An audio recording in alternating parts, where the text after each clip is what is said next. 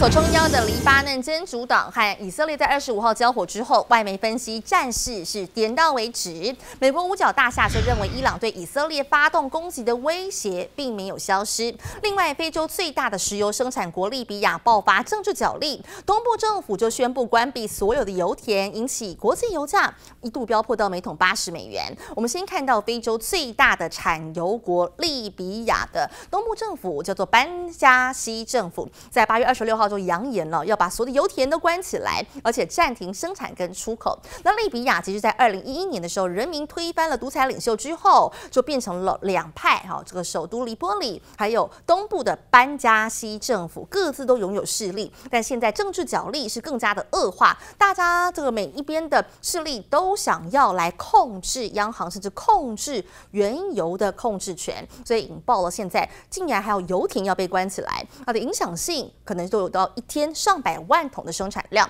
另外一个是在中东战事哦，就把时间往前推。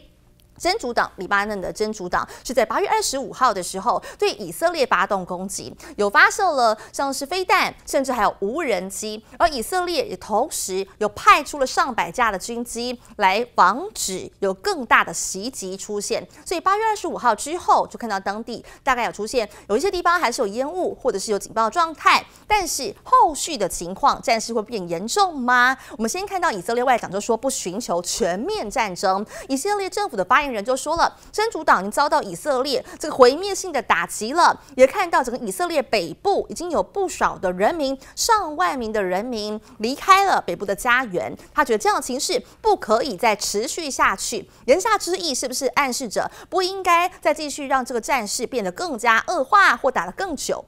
所以外媒分析了这个交火是不是点到为止？路透的分析，另外也说到这一次黎巴嫩跟以色列在八月二十五号的交火，并没有到广泛的影响性或损害，而且也观察到，其实以色列也很难再把战线扩大到哦，除了加萨之外的地区，可能也没办法打了这么久，战线拉的这么长。所以说，是不是有助于加萨谈判呢？不过我们看美国这方面，他们的观察，伊朗可能不会就。就此作罢。我们看到美国的五角大厦发言人就说了，他们观察了一下伊朗的领导层的发言，特别是公开评论，看起来并没有要完全放弃呃攻击以色列，所以这个威胁还是存在的。所以以色列的国防部长说到了，伊朗对以色列侵略性的活动从来没有像现在这样的高涨，还说到以色列跟美国已经做好准备要去应对伊朗取得核武，甚至后续会不会发动攻击呢？可能还是要做好准备的，所以布兰特原油期货价格，我们刚刚说到了，除了中东的地缘政治情况之外，另外一个就是在非洲最大产油国的原油油田有被关闭起来的情势，所以相形之下，布兰特原油期货一度有到每桶八十美元之上，甚至现在是在七十九点八六美元做徘徊。所以现在后续分析师怎么观察油市哦？有一些分析师认为，现在油市最大的风险可能要看利比亚，因为利比亚每天生产一百万桶，等于直接归零了，所以供给量就每一天少了一百万桶。另外，也有一些认为说，这个加萨停火的协议看起来还是有可能。会泡汤的，所以在这样情势之下，伊朗恐怕会是报复以色列的状态，所以最后原油设施有可能就会遭受到攻击。这样情势之下，对于未来的国际油价，预估是在每桶七十五到八十五美元之间做徘徊。当然，这是以几个比较悲观的看法，有一些比较乐观的看法，认为冲击可能不见得是这么大的，像是中东风险持续的升温，但是市场已经开始慢慢有点免疫了，也觉得说这个对。油市好像不是太大波及嘛，因为中东的战事可能是维持到超过一年的情况了，所以不会有太剧烈的国际油价的影响性。那么瑞银则是看待说，尽管中东地缘政治的升温，美国十一月大选确实是有些风险存在，但是至少 AI 的支持，还有美国降息的情况，再加上。还有企业获利的攀升，都会带望后续标普五百可能继续站上五千九百点。那么北非国家利比亚国内各派系的政权，为了要争夺中央银行跟国家石油收入的控制权，陷入到权力斗争当中。东部政府最新宣布关闭掉所有的油田，停止石油的生产以及出口。专家表示，利比亚石油减产将对市场产生重大影响。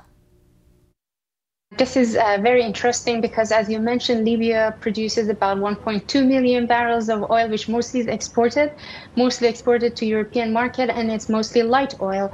So uh, the volumes of this disruption obviously is going to have a major impact uh, on the uh, market mm. if happens. But the question is that how quickly and uh, how much. But as you see the market reactions that how uh, this adjustment happens, especially for WTI, which is light oil, and uh, it would be the best perfect suit uh, for uh, substituting this oil, has kind of adjusted itself, uh, itself back a bit today. So it seems that market it does not look into a very quick, sudden interruption of all of these volumes, but rather a gradual disruption.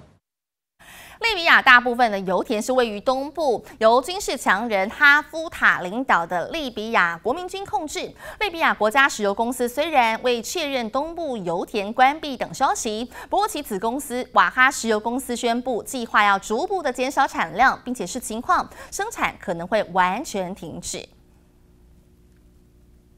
另外，市场现在认为九月美国联准会降息已成定局了。利率观测站 FedWatch 的工具显示，降一码的几率来到大约是七成多。大华证券专家指出，美国经济状况良好，配上降息，和二零一九年的状况大同小异，看好美股的后市。I'm a bit worried about the data in the near term, but if we get through the next couple of months.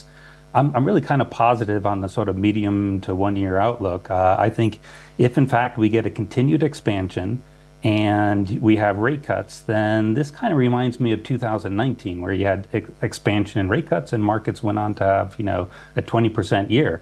Um, I, think we're a higher valuation level now, so maybe that's asking too much, but still, it's a healthy backdrop to get growth and rate cuts at the same time. Um, I would say that when it comes to rate cuts, I do think the market's getting ahead of itself also there. Um, I see, you know, I think I, am looking at market pricing that throughout the rest of this year and into 2025, the market, I believe, is pricing something like nine to 10 rate cuts. You know, our, our assumption has more been mm. like four to six. But still, I think this adds up to a good backdrop.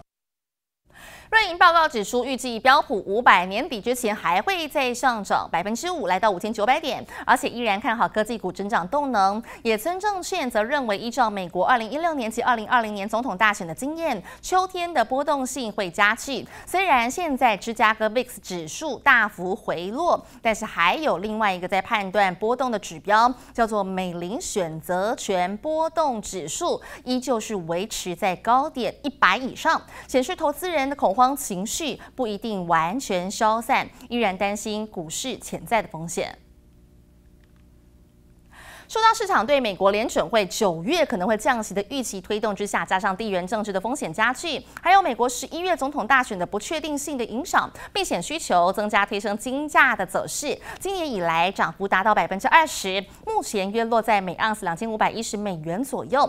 专家认为，多重压力底下，金价年底前有机会冲上每盎司两千七百五十美元。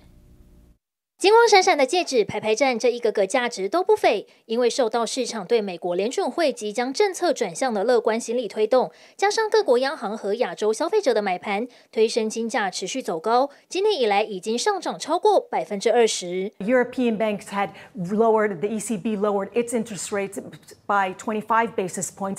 That's when you saw those inflows of Europeans going into gold, and now that's going. It's happening with the U.S. as well, with U.S. expectations of rate cuts here. So gold does well. 周一黄金现货价格小涨约百分之零点二，来到每盎司两千五百二十美元左右。